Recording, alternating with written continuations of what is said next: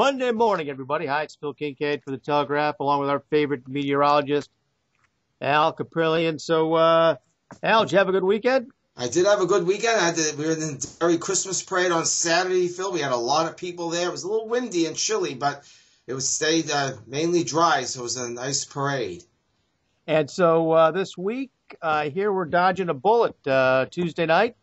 That's right, Phil. The uh, upper level winds and jet stream staying progressive, and that's not going to allow the storm to develop until it's out at sea. It's going to track south of us on Tuesday, but for today, Monday, we'll have a sunshine, some scattered clouds. I'm going to call it a mixture of sun and clouds today, but not as windy as it was the last few days. Temperatures this afternoon a little bit milder than they were yesterday, low to middle 40s. It'll become mostly cloudy tonight, lows in the 20s, mostly cloudy tomorrow for Tuesday. There could be a coating to an inch of snow south of the Massachusetts Turnpike, but it looks like if we get anything in southern New Hampshire, which we may get nothing at all, Phil, but flurries at most as of now. That's the way it looks. As you move south of the Massachusetts Turnpike, there could be a coating to an inch. Highs tomorrow will be in the mid to upper 30s. Wednesday, mixture of sun and clouds, upper 30s, low 40s. And then by Friday, it'll be dry Thursday near 40. And then by Friday, we only be, may be in the low 30s for high temperatures Mostly sunny sky could stay in the upper 20s below freezing in the higher terrain of Cheshire County, New Hampshire on Friday. And then we'll talk Friday morning.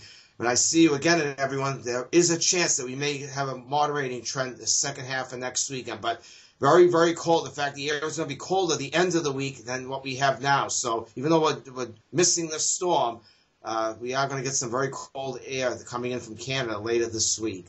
So again, a kind of a quiet weather pattern uh, throughout the week.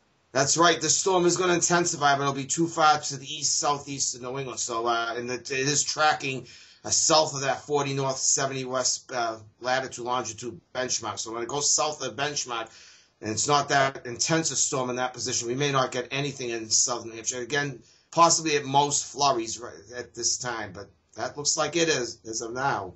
All right, Al, I'm not complaining. I'll take it. Okay, well, t- have a great week, Phil and everyone. Okay, Al, thanks a lot. Talk to you on Friday.